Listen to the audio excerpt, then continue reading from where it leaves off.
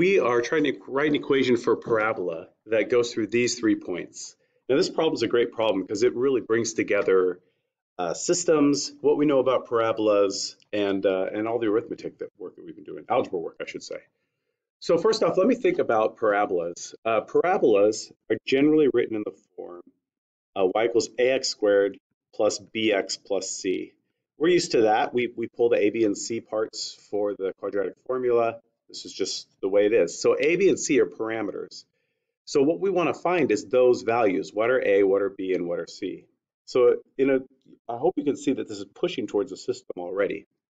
Now what we have is four pieces of information, um, right? An answer, a term, a term, a term. We're going to need three equations, and each of these points will give us an equation. Points come in the form x, y. And this is important to remember. So this is saying when x is 2, y, y must be 7. So let me plug this in. When, seven is, when y is 7, not a, but x is 2. And I can do that with each of these three points. When y is 14, uh, b is 3, and not b, x is 3, and be careful about that. You don't want to put it in the B spot. It's an X. When X is 5, when Y is 40, and these are times, 5 squared plus B times 5 plus C. And now if I do a little bit of arithmetic here, uh, like 2 squared is 4, right? So this is 4A plus 2B plus C equals 7. 3 squared is 9, so this is 9A plus 3B plus C is 14. And you can see the system start to take shape. 5 squared is 25. 25a plus 5 times b plus c equals 40. And this is, uh, this could be an exercise on its own, solve this system. Great, so let's solve that system then. We have what we've been calling a three by four, three equations, four pieces of information. Uh, so what we're going to do is eliminate one of the variables. And C to me looks ripe for uh, eliminating. So let's do it. So I've got equation one, equation two, equation three. How about uh, I just go, one of my things will be equation two minus equation one, and another one will be, how about uh, equation three minus equation two? Doesn't really matter, but that's what I'm going to use. Uh, equation 2 minus equation 1. So, so 9a minus 4a is 5a. 3b minus b is 1b. C minus c goes away, which is what I wanted to happen. Then I have 14 minus 7 is 7. Let's do the next one, e3 minus e2. So 25 uh, minus 9, that's 16. 5b minus 3b, that's 2b.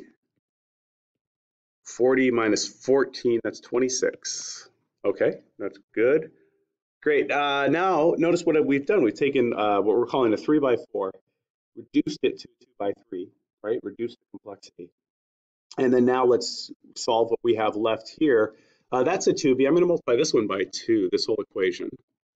And hopefully, hopefully you're seeing why I'm doing that. Leave that bottom one as it is.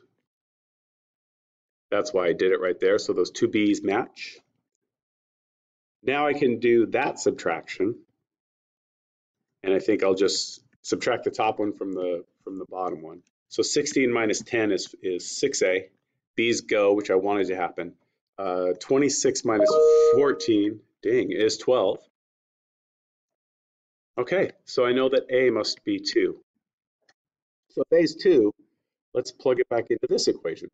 Any equation that we that we want to use, we can. Just use one where we only have two uh, variables in it. So it looks like b must be negative 3. When a is 2 and b is negative 3, let's grab, whoa, hello. Let's grab this equation, 4a2, 4217.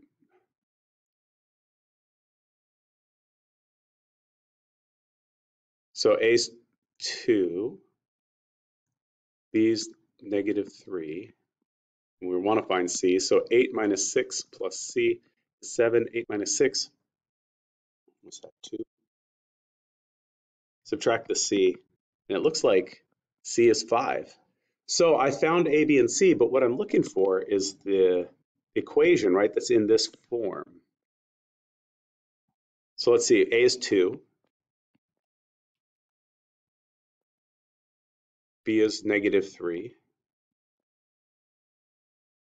C is 5. There's my equation. And I could check it lots of ways. I could shove it into Desmos. I could shove it into my calculator. And uh, I could take some of these values, like let's say, looking at my original points, uh, 2, 7 is supposed to be one of my points.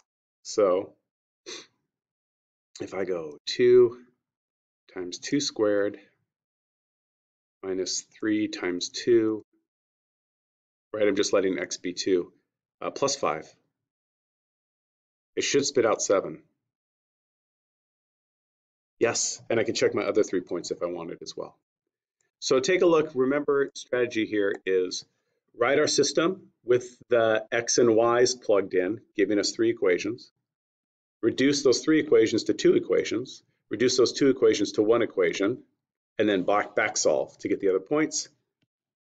And then we can just write our equation like that.